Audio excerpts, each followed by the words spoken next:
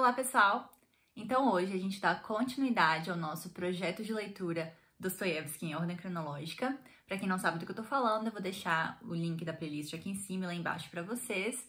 Mas esse projeto sou eu basicamente me propondo a ler todas as obras do Dostoiévski, da primeira publicação até a última, incluindo romances, contos, novelas, enfim, né, tudo que ele já escreveu. E a gente já finalizou a segunda parte do projeto, que foi os anos de provação do Dostoiévski, período em que ele estava preso. E hoje a gente dá início à terceira parte, que é o Impulso da Libertação, período da vida dele de 1860 a 1865. E para me auxiliar nesse projeto, eu leio junto com as obras dele a biografia escrita pelo Joseph Frank. E quem separa, na verdade, né, a vida do Dostoevsky nessas partes que eu acabei de falar é o próprio Joseph Frank. Aí, olha só, nós vamos entrar agora, começando pela página 347, a terceira parte, o impulso da libertação, como eu tinha falado. E, gente, esse livro aqui é muito bom, vocês podem tanto comprar a versão é, condensada, que é essa daqui, quanto também as versões, as, os cinco volumes. Então, Vale muito a pena, é muito bom. E o romance que a gente vai comentar hoje é a primeira obra deste período, né? Dessa terceira parte, que é essa coisa sensacional aqui, Humilhados e Ofendidos, gente. A edição que eu tô, que eu leio, né? Sempre leio, é da editora 34. Vou deixar os links aqui embaixo da Amazon, caso vocês queiram adquirir. Se vocês adquirirem os livros por estes links, vocês estão ajudando o canal. Então, caso vocês queiram, tá? Eu vou deixar os dois links aqui para vocês dessas duas, essas duas obras. Então, gente, só recapitulando um pouquinho aqui antes da gente de fato começar a falar do livro, né? O Dostoiévski, ele volta a São Petersburgo em meados de dezembro de 1859. Então, ele tinha acabado de voltar da Sibéria, né? A gente já comentou aqui que ele ficou preso, fez os trabalhos forçados, depois ele foi ele ficou exilado né, na Sibéria. Aí depois ele foi servir o exército, mas também como parte da, da pena né, dele, a condenação. Então ele volta para São Petersburgo livre, né? Em dezembro de 1859. E ele tá desesperado para escrever e para publicar um grande romance. Porque, gente, a segunda parte, os três, as três obras publicadas na segunda parte, nos anos de provação dele, que foi Um Pequeno Herói, o Sonho do Titio e Aldeia Stepanchikovo foram obras que não tiveram repercussão. É, ele não estava né, na boca do povo, mas assim, ele realmente estava exilado, então realmente não teve nenhuma repercussão. São livros bons, são livros que eu gosto. A Aldeia é um livro muito interessante, é uma obra muito interessante, mas ninguém praticamente falou nada desses, desses livros, então ele queria voltar à tona e ele queria escrever um grande romance de prestígio, porque o único dele, né, que na verdade era super fininho, era grande na quantidade de, de páginas, mas era grande porque foi o primeiro, a primeira obra dele teve uma força muito grande, foi Gente Pobre. E ele queria escrever um novo Gente Pobre, só que, né, aquele grande romance de prestígio. Então, ele começou a escrever Humilhados e Ofendidos, por volta de maio de 1860. E olha aqui o que ele fala sobre o romance na página 399 do Pós-Fácil da Fátima Bianchi, que também é a tradutora. que fala o seguinte, ó. Voltei para cá e me encontro num estado completamente febril. Tudo por causa do meu romance. Quero escrevê-lo bem, sinto que há poesia nele. Sei que toda a minha carreira literária depende de seu sucesso.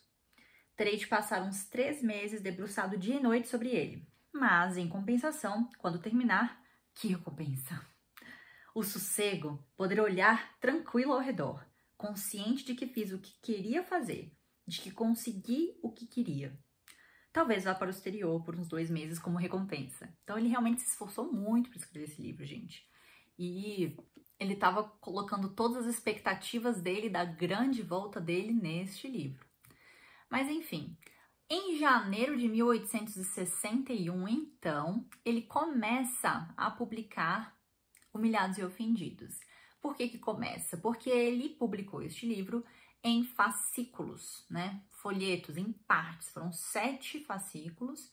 e ele publicou na revista dele e do irmão Mikhail. Então, quando ele voltou para Petersburgo, ele e o irmão dele é, né, fundaram uma revista literária e aí ele conseguiu fazer a publicação aí do, do, do Humilhados e Ofendidos. Acho que ficou sete, sete meses sendo publicado, foi de janeiro de 1861 até julho de 1861. Então foi assim um, um grande tempo, né? E as pessoas acompanhando essa história aqui. Então, ele sempre que ele terminava um, uma parte, um folheto, um fascículo, né? E publicava, é, ele terminava essa parte da história num momento super empolgante para a pessoa ficar empolgada para poder ler o próximo, né? O próximo capítulo, o próximo fascículo, enfim, quando saísse na revista. E quando saiu, gente, na verdade, a crítica ela foi favorável. Aqui na página 440, a, Fátima Bianchi ela deixou uma partezinha assim para recepção da crítica. E olha só. Sejam quais forem as condições em que trabalhava, Dostoiévski conseguiu o que queria. Seu nome voltou a, voltou a ser objeto de comentário nos círculos literários. O romance aumentou o interesse pela revista recém-fundada e levou a um aumento rápido de sua tiragem, o que por sua vez proporcionou por algum tempo uma relativa estabilidade na vida financeira dos dois irmãos. Diferentemente do que acontecera com o sonho do Titio e Aldeir Stepanchikovo, né, que vieram à luz ainda no final do exílio do, do, autor, como a gente já conversou aqui, a publicação já da primeira parte de Humilhados e Ofendidos obteve enorme sucesso junto ao público e mexeu extraordinariamente com a crítica, que de modo geral saudou positivamente a obra. Então a crítica, né, gente, assim, para variar um pouquinho o que ele estava sofrendo, a gente sabe que, que ele estava sofrendo uns maus bocados com os escritos dele antes dele ser preso, né? A, a, a mídia, não só a mídia, os críticos, né, o Belinsky principalmente, estavam atacando muito os escritos dele.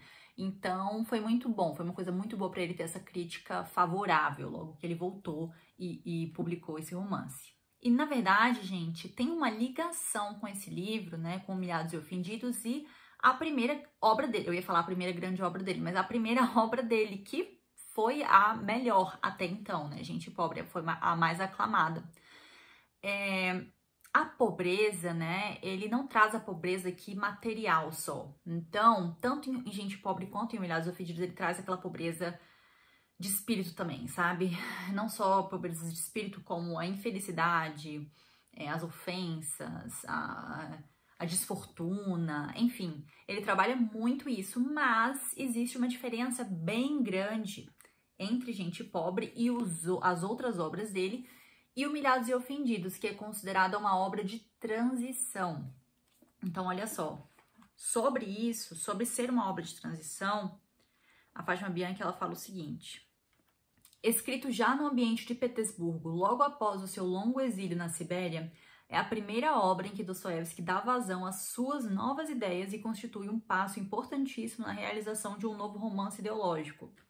Nesse sentido, pode ser considerado uma espécie de laboratório, um experimento fundamental que hoje a crítica avalia como um trabalho de transição no conjunto da sua obra criativa, pois nele já estão presentes muitas das ideias, das personagens tipos, dos temas e motivos que depois se tornariam amplamente conhecidos em seus trabalhos de maturidade.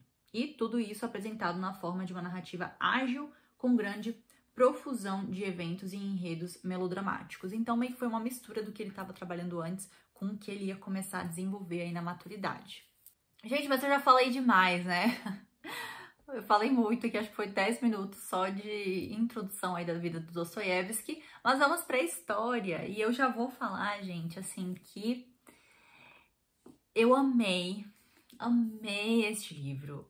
Me emocionei muito. Eu acho que 60% do tempo que eu li esse livro eu li chorando, só para vocês terem uma noção. É muito emocionante e ele mexe Ai, pelo menos comigo, gente. Ele mexeu muito comigo, sabe? Com o meu emocional mesmo, com o meu psicológico mesmo. Se confesso para vocês que eu fiquei abalada com este livro.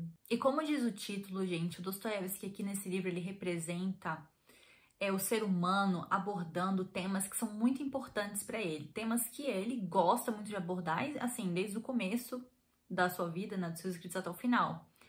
Que são temas que envolvem o cristianismo, que era uma coisa muito importante para ele, a religião dele era muito importante, ele era muito cristão. Então, os temas como sofrimento, sentimento de culpa, orgulho, perdão, humilhação. Então, tudo isso era muito importante para ele e ele gostava de trabalhar e de representar o ser humano com esses temas. E esse livro aqui é isso, gente. Eu acho que o tema principal do livro é o perdão mesmo. E apesar de ser um livro é, é forte, ele é, ele é assim muito denso com essas questões, com essas temáticas, mas ele é um livro bem fácil de ler, um livro é muito gostoso de ler, né? Ele, para, ele é uma novela mesmo, como se fosse uma, uma novela. Tanto é que ele publicava né, em fascículos, então as pessoas ficavam muito empolgadas para o próximo capítulo, para a próxima parte. E apesar dele lidar com esses temas profundos, você acaba fazendo uma leitura muito rápida, né? Você não consegue parar de ler, não consegue largar o livro. Enfim, quem narra aqui a história é o Ivan, ou Vânia para os íntimos. E ele, gente, no primeiro capítulo, ele conta um episódio estranho que aconteceu na vida dele. No segundo capítulo, que ele vai, né, falar pra gente que ele, na verdade, está em seu leito de morte, escrevendo, né, esse relato, contando esse relato pra gente. Então, olha só, na página 23, ele fala o seguinte: Involuntariamente, todo esse penoso último ano de minha vida me vem constantemente à lembrança. Agora quero registrar tudo, e se não tivesse inventado para mim essa ocupação, acho que morreria de tédio. Aqui embaixo ele, ele fala sobre a infância dele, ó. Ó, oh, minha doce infância, que estupidez é ficar suspirando e lamentando por você aos 25 anos de idade e à beira da morte lembrar de você apenas e unicamente com enlevo e gratidão. Então, ele só tem 25 anos e já está na beira da morte. Então, a gente passa o livro assim, querendo é, saber, né, o que, que, que, aconteceu com ele. E ele vai contar pra gente, é, a partir do capítulo 3, a história da vida dele. Então, na verdade, são duas histórias, são, não, não são duas histórias, é uma história, a história da vida dele, mas nós temos como se fosse duas linhas. Só que ele tá no meio dessas duas e lá para as tantas, essas linhas da história, elas vão se entrela entrelaçar, vão se cruzar. Mas o que a gente precisa saber logo no começo do Vânia é que ele é um escritor. E aqui, gente, a gente já consegue perceber o quanto que o Dostoiévski se colocou no Vânia, no Ivan porque ele, ele é um, um escritor que foi muito aclamado, né, com seu primeiro romance, e aí depois ele acabou decaindo. Então, a mesma coisinha que aconteceu com Dostoiévski depois de Gente Pobre acontece aqui com o Ivan.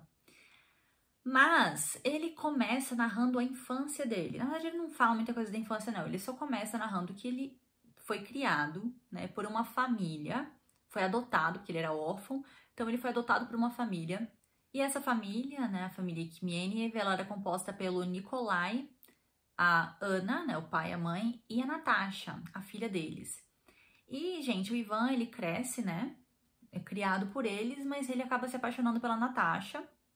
E aí, em certo momento, eles acabam ficando noivos. Mas fica por isso mesmo, só no noivado eles acabam não casando porque a Natasha se apaixona pelo Alyosha. E quem é Alyosha, gente? O Alyosha ele é filho do meio que chefe do pai da Natasha, que é o Nikolai. O príncipe Valkovsky, que é o pai dele, ele é dono das terras que o Nikolai trabalha.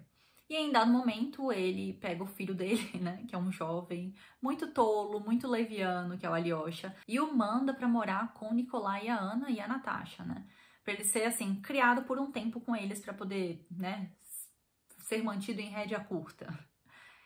E aí eles acabam se apaixonando. Natasha e o Alyosha acabam se apaixonando, mas o príncipe, gente, ele é muito contra isso, né? Quando ele descobre, ele acaba, obviamente, é, indo contra o matrimônio né, deles, eles ele não quer que o casamento aconteça, mas ele também acaba cortando relações com a família, com o próprio Nicolai, eles eram amigos antes, aí acabam, enfim, virando inimigos, e aí é, outras coisas entre eles acontecem, mas o principal é que ele se opõe veementemente a este casamento. Principalmente porque a família Kimeniev não era uma família rica. Eles eram lá longe da, na, da nobreza, mas não era uma família rica.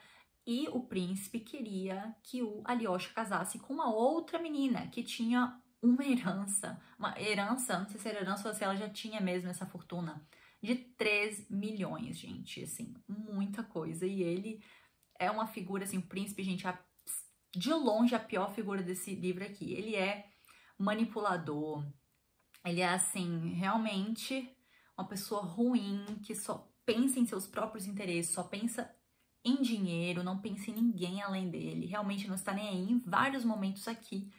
Ele fala, ele não só age dessa forma, como em um momento específico ele fala tudo isso, que ele não tá nem aí pra ninguém, não tá nem aí pra felicidade de ninguém, que ele só quer o dinheiro e ele só quer viver a vida dele bem confortável, né, financeiramente, enfim, esbanjar e conseguir tudo que ele quer nos negócios. Então, é assim, ele é uma figura tenebrosa. Aí ele escolhe essa menina, a Kátia, pra casar com a Alyosha, mas o Alyosha quer casar com a Natasha, né? O que que acontece? Eles acabam fugindo, saindo da casa, né? A, a Natasha sai da casa dos pais e eles vão morar, todo mundo vai morar em Petersburgo. Aí começa a segunda parte, né? Não sei se é exatamente a segunda parte, mas aí começa a maior parte do livro, que é quando eles estão em Petersburgo. E o que está acontecendo? A Natasha tá morando sozinha em um apartamento que o Alyosha tá pagando para ela com o pouco dinheiro que ele tem, porque o pai acabou cortando. O pai também não tem muito dinheiro lá não, mas o, o dinheiro que ele dava para Alyosha ele acabou cortando e tava dando muito pouco. o Alyosha consegue pagar para ela um apartamento pequeno lá em Petersburgo e ele vive com o pai, às vezes fica com ela, às vezes fica com o pai, é uma confusão. O relacionamento deles não é saudável de jeito nenhum. Assim, um dos relacionamentos mais tóxicos que eu já tive o desprazer de me deparar. Mentira, gente, eu tive um prazer muito grande porque é um livro do Dostoiévski. Mas, assim, tenebroso, gente. A forma que o Ivan trata a Natasha e a forma que a Natasha, né, se trata o Ivan e se trata é horrível. Porque ele é muito, como eu falei, ele é muito tolo, ele é muito leviano, ele é muito inocente, muito ingênuo, mas ele também vive conforme a própria emoção dele mesmo. Então, assim, ele. As próprias vontades, os próprios desejos. Então, ele trai a Natasha o tempo inteiro, volta e conta pra ela, ela perdoa, né? E aí eles fazem as pazes e isso acontece o tempo inteiro. Mas, assim, ele é uma figura que você não sabe se você fica com raiva ou se você fica com pena desse menino, do Alyosha. Mas assim, no final eu acho que eu escolhi ficar mais com raiva dele mesmo. Ele até estragou o nome pra mim. Brincadeira, não estragou o nome, né? Eu não sei se você já leram Os Irmãos Karamazov, mas um, o melhor personagem, um dos melhores personagens do livro é o Alyosha. Eu até falei no Instagram que eu ia dar o nome do meu cachorro de Alyosha. Depois que eu li esse livro, eu fiquei, não, coitado do cachorro. Tô brincando, gente, assim. Mas é um personagem que eu não sei como a Natasha conseguiu se apaixonar por ele, sendo muito, muito sincera. Mas como eu falei, é um relacionamento super tóxico. E aí, como é que o Ivan, né, se enquadra nisso tudo? O Ivan, apesar dela ter cortado, né, terminado o noivado, eles continuam muito amigos, muito próximos. E o Ivan acaba sendo o maior apoio da Natasha, porque ela corta relações com os pais. Os pais são também super contra o casamento dela com o Alyosha, não só por causa da rixa deles com o, o príncipe, né, mas porque eles acham que o Alyosha realmente tá, tá ludibriando a Natasha. Assim, e o Ivan, o papel do Ivan é muito importante porque ele é um, amigo muito verdadeiro e ele é o que mais se importa, né, com a Natasha, assim, é o que mais tá lá sempre tentando ajudar o, é, os dois e tentando prestar um apoio para eles. E aí, gente, nesse mesmo momento, o que, que a gente sabe do, do Ivan, do Vânia? A gente sabe que ele também está morando em Petersburgo, ele está morando em um apartamento de um senhor que ele viu morrer. Lembra que eu falei no primeiro capítulo que tinha um. Ele conta, ele narra um evento estranho que aconteceu com ele, foi a morte desse velhinho, desse senhor e do cachorro dele. E aí ele acaba alugando o apartamento do velhinho, que era muito pobre, e aí ele está nesse apartamento, e aí vem a outra linha da, da história, que é a da Helena ou Nelly. Ele tá nesse apartamento, aparece uma figura, uma menina, E aí é, é a neta desse velhinho que morreu. E aí o, o já fala ali hoje. E aí o Ivan acaba é, resgatando a, a Nelly. Eu não vou entrar em muitos detalhes, mas a infância dela, não só a infância, o que está acontecendo com ela neste momento. Né? A mãe dela já morreu e o que está acontecendo com ela neste momento é muito duro porque ela está sendo muito maltratada por uma moça que, que tá cuidando dela, envolvendo ela com coisas horrorosas, assim, é, prostituição, gente, assim, muito pesado mesmo. E aí, o que que acontece? O Ivan acaba acolhendo a Nelly e ela vai morar com ele. E o engraçado é que a história da infância da Nelly, ela é muito, muito parecida com a história da Natasha com os pais. Por quê? Da mesma forma que a Natasha rompeu com os pais para ir, né, para um casar com a pessoa e, e, e enfim, morar meio com, com, essa pessoa antes de casar e meio que, enfim, desonrou a família, né? A mãe da Helena, da Nelly, também fez a mesma coisa com os pais, com o avô, né, o velhinho lá do, do começo. Então, toda essa questão de perdão, né, de culpa, de ofensa à família e tudo isso a gente vê nas duas histórias, tanto da Natasha quanto da, da mãe da Nelly. E o Ivan tá sempre entre essas duas histórias. O Ivan tá tentando ajudar todo mundo. Então ele tenta ajudar a Natasha, ele tenta ajudar o Alyosha também, ele tenta ajudar a Nelly, né? A Nelly acaba morando com ele, como eu falei, e eles acabam é, criando uma amizade, uma, um relacionamento muito bonito. Ah, também tenta ajudar os dele, né? Que são meio que pais dele, o Nicolai e a Ana que estão desolados por causa da filha. Então, assim, o Nicolai, ele tá extremamente triste, extremamente decepcionado com a filha, cortou ela da vida dele completamente, disse que nunca vai perdoar, né? Então, a, a, coisa mais importante aí, gente, do livro é essa questão do perdão. Então, a gente tem o perdão da Natasha, né, perdoando o Alyosha o tempo inteiro, o perdão dos pais com a Natasha por causa do que ela fez, porque ela saiu de casa e, enfim, desonrou a família. O perdão do próprio Vânia, né? O próprio Ivan que perdoou a Natasha por ter terminado o noivado. Enfim, gente. Cada coisa acontece que eu não. Parece que eu já falei o livro inteiro, mas eu não falei, não. Isso tudo que eu falei, eu acho que porque não deu nem. Chegou nem na metade do livro, tem muita coisa.